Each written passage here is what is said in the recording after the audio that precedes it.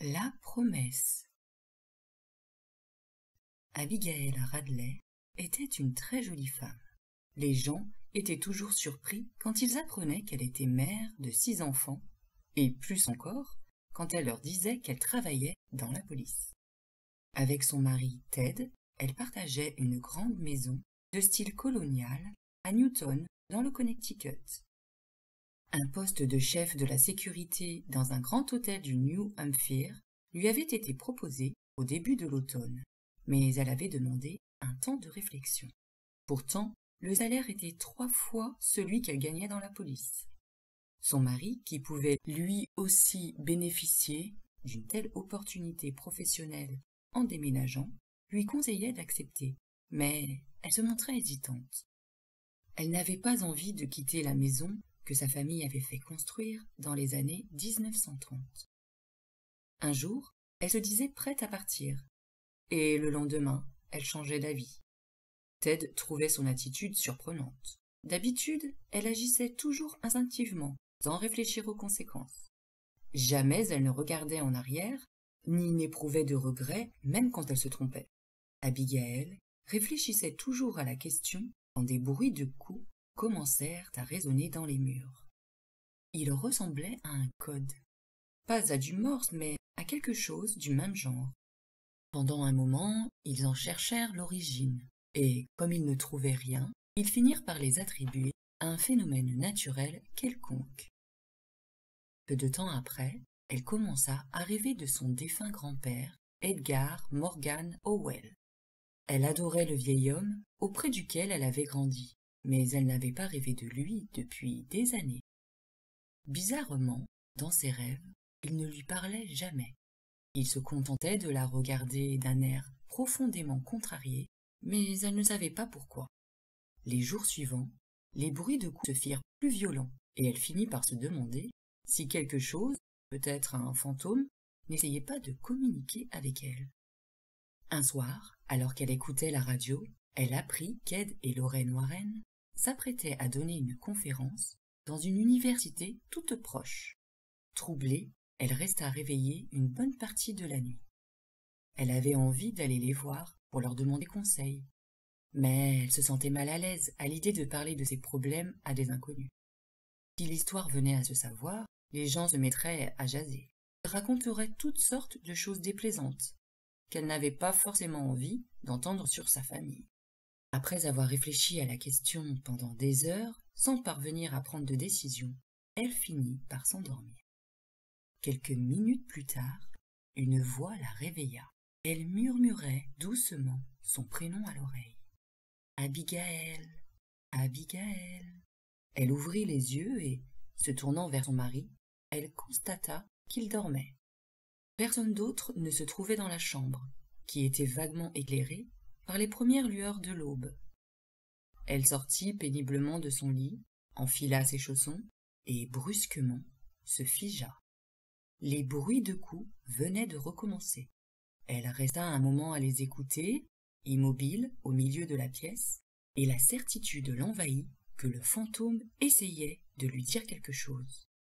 Nerveuse, elle descendit préparer le petit déjeuner, et elle prit une décision elle assisterait à la conférence des Warren, et s'il parvenait à la convaincre de leur sincérité, alors elle leur dirait tout de ses problèmes.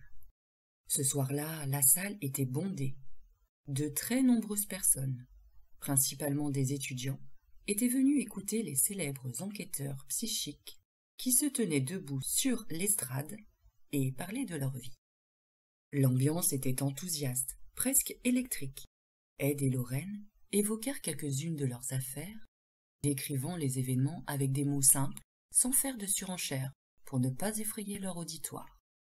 Une fois la conférence terminée, les spectateurs se levèrent pour les applaudir, puis ils se dirigèrent vers la sortie dans un brouhaha joyeux. Lorraine survolait la salle du regard quand elle remarqua une dame d'âge moyen assise dans le fond. Elle semblait curieusement mal à l'aise. Elle la fixait désespérément du regard, comme si elle avait eu envie de venir lui parler sans oser le faire. Lorraine lui sourit, et elle commença à ranger ses affaires. Quelques secondes plus tard, la femme s'approcha de l'estrade et se présenta d'une voix timide. Bonsoir, je m'appelle Abigail Radley. J'aurais besoin de votre aide. Elle leur expliqua son problème avec difficulté. Lorraine comprit qu'elle n'avait pas l'habitude de raconter sa vie à des inconnus. Ils discutèrent avec elle pendant plus de trente minutes, et comme elle était visiblement bouleversée, ils lui promirent de venir inspecter sa maison la semaine suivante. Depuis quelque temps, Lorraine faisait toujours le même rêve troublant. Elle était assise sur le siège passager d'une voiture sportive et une femme se trouvait au volant. À un certain moment, quelque chose venait violemment heurter l'arrière du véhicule et elle se retrouvait projetée vers l'avant. Elle se demandait si son rêve n'était pas prémonitoire, mais elle n'arrivait pas à le comprendre. Ed conduisait toujours partout où ils allaient, et elle ne voyait pas ce qui aurait pu la pousser à monter dans la voiture d'une inconnue. Le lendemain de la conférence, Ed et Lorraine prirent la route pour aller visiter une maison présumée hantée. Ils étaient accompagnés d'une photographe psychique et d'une femme qui travaillait dans un journal local, Cindy Lou Boyle. Cindy et Lorraine suivaient Ed en voiture, quand un conducteur ivre emboutit l'arrière de leur véhicule. Sérieusement blessée, Lorraine dut être transportée à l'hôpital. Elle put alors constater la justesse des propos d'Edgar Case, un médium américain qui disait que les blessures physiques augmentent souvent les habiletés mentales. À sa sortie, elle portait une minerve et ses capacités médiumniques s'étaient grandement développées. Deux jours plus tard, Ed et Lorraine partirent pour la maison des Radley. Abigail leur avait demandé de passer en soirée pour rencontrer son mari qui quittait son travail en fin d'après-midi. Ils étaient en chemin quand Lorraine commença à recevoir des images psychiques d'un grand homme aux cheveux blancs et au physique atypique. Elle ne l'avait jamais vu auparavant, mais elle sut immédiatement son nom. Edgar Morgan Howell, le grand-père d'Abigail. Pendant ce temps, Ted bricolait une voiture dans son garage, et Abigail cousait en regardant la télévision. À vingt et une heures, elle monta au premier pour coucher le plus jeune de ses enfants, son fils Indigo. Pendant qu'elle le bordait, elle entendit un grand bruit au rez-de-chaussée. Elle descendit les escaliers en courant, et elle découvrit que toutes ses assiettes en porcelaine de Chine, qui lui venaient de sa mère, avaient été brisées. Elle songea brièvement à ramasser les morceaux éparpillés sur le carrelage, mais elle avait bien trop peur pour rester seule dans la cuisine. Elle remonta précipitamment à l'étage, et prenant Indigo dans ses bras, elle ferma les yeux pour se calmer. Soudain, un nouveau bruit de vaisselle cassée la fit sursauter. Cette fois, toutes les pièces de son service à café avaient été projetées sur le sol. Plus effrayant encore, un grand couteau de boucher était profondément enfoncé dans la table de travail, comme une menace. Elle se tenait là, debout à l'entrée de la cuisine, quand son fils, qu'elle avait laissé au premier, se mit à pleurer. Elle se retourna pour aller le chercher et se figea de surprise. Une grande silhouette lumineuse descendait lentement l'escalier. Elle était tellement brillante qu'Abigail avait du mal à garder les yeux posés sur elle. Au même moment, un abominable vacarme résonna au salon. Un cendrier en laiton, qui avait appartenu à son grand-père, flottait dans les airs. Il semblait foncer volontairement sur les bibelots et les divers objets décoratifs posés sur les meubles et les étagères, les propulsant sur le plancher ou les faisant voler en éclats. Finalement, il se précipita sur le portrait encadré de son grand-père, faisant exploser le verre sous la force du choc, avant de retomber lourdement sur le sol. Horrifiée, Abigail courut prévenir son mari. Maintenant, elle ne croyait plus que le fantôme cherchait à communiquer. Elle était sûre qu'il voulait les tuer. En arrivant, Ed et Lorraine découvrirent que toute la famille les attendait sous le porche. Ted et Abigail semblaient complètement bouleversés. Ils leur racontèrent que quelque chose, qui était apparu à Abigail sous la forme d'une grande silhouette lumineuse, avait saccagé la cuisine et le salon, laissant même un grand couteau planté dans le bois de la table de travail, un geste qu'ils avaient pris pour un avertissement. Ed et Lorraine les rassurèrent autant que possible. Puis ils demandèrent à voir les dommages, et Abigail leur proposa de leur faire visiter la maison. En pénétrant dans le salon, Lorraine se retrouva submergée par les images colorées d'un bonheur passé. Une petite fille, portant des chaussettes blanches, était assise sur une balançoire accrochée à un pommier. Ses longs cheveux bouclés étaient retenus par des rubans roses. Un grand homme poussait la balançoire, le grand-père d'Abigail. Lorraine rapporta la vision à son mari, qui lui amena une chaise. Tu crois qu'il essaie de nous dire quelque chose? lui demanda-t-il. Oui, regarde en haut des escaliers, derrière une grille d'aération. Tout le monde monta alors à l'étage pour fouiller les conduits de ventilation. Après une quinzaine de minutes de recherche, une boîte à chaussures poussiéreuse fut retrouvée derrière une grille. Intrigués, ils la descendirent à la cuisine pour l'examiner.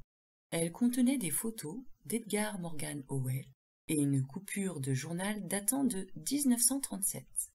L'article le décrivait comme un homme d'affaires estimé. Né dans un chariot bâché en plein milieu des Badlands, il avait pris la mer à 14 ans et pendant des années, il avait navigué sur des baleiniers. Il était revenu aux États-Unis à l'âge de 32 ans et avait fait construire une grande maison pour sa famille. Lors de son inauguration, il avait déclaré devant tous les notables de la ville rassemblés, là, pour l'occasion. Je veux que la maison soit un port dans la tempête pour n'importe quel Howell. Je reviendrai personnellement hanter celui qui tentera de s'en débarrasser. Ses invités avaient cru à une plaisanterie, mais ils le pensaient vraiment. Abigail comprit alors que son grand-père les hantait, mais que ses intentions étaient louables. Il essayait de les protéger, ses enfants et elle. Pour une obscure raison, il croyait que rien de terrible ne pourrait leur arriver tant qu'il restait là, dans la vieille demeure. Abigail en fut touchée, mais elle avait décidé d'accepter le poste que l'hôtel Concorde lui avait proposé, et rien n'aurait pu la faire changer d'avis. Ed et Lorraine retournèrent alors chez eux. En arrivant, ils trouvèrent une lettre adressée à Ed. Elle était arrivée le matin même. Ils ouvrirent l'enveloppe et ils découvrirent la nécrologie d'Edgar Howell en personne. Ils en conclurent que la coupure de journal leur avait été envoyée par des mains surnaturelles pour leur signifier qu'ils avaient bien deviné l'identité de l'esprit. Lorraine se débarrassa définitivement de sa Minerve la semaine suivante. Les Radley étaient tellement agréables. Nous avons été heureux de leur montrer combien le grand-père d'Abigail les aimait tous et combien il se montrait protecteur. Finalement, j'ai enlevé ma Minerve, et mes maux de tête et mes douleurs se sont envolés. Je n'ai perdu aucun de mes pouvoirs, mais j'ai perdu un peu de l'intensité qui accompagnait mes visions durant cette période. Toutefois, je ne pense pas que ça vaille le coup de me briser le cou une nouvelle fois pour les retrouver.